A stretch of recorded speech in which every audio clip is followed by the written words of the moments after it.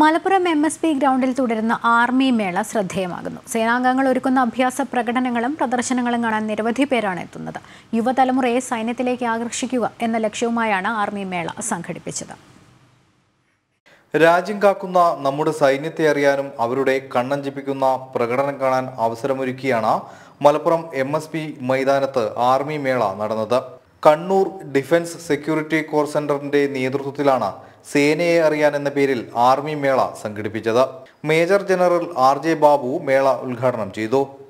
വളരെ അഭിനിവേശമുണ്ട്. അവർ അവർക്ക് ചാൻസ് കിട്ടിയാൽ മതി. ചാൻസ് ഇല്ല എന്നുള്ള ഒരു ഇതേ ഉള്ളൂ. അവരത് കോമ്പീറ്റ് ചെയ്യുന്ന ഇഷ്ടം പോലെ ആൾക്കാർ മുൻപോട്ട് വരുന്നുണ്ട്.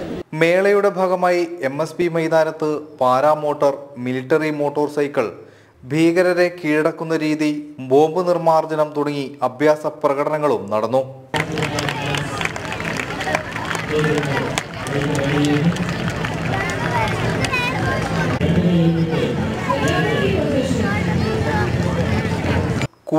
കരസേനയുടെ ആയുധ പ്രദർശനവും ഉണ്ടായിരുന്നു. എൻ സി സി കേഡറ്റുകളടക്കം നിരവധി പേരാണ് മേളയിൽ പങ്കെടുക്കാനെത്തിയത്. എൻ സി സി ജോയിൻ ചെയ്താൽ തന്നെ ഒരുവിധം ഒരു ഇൻസ്പിറേഷൻ വരും.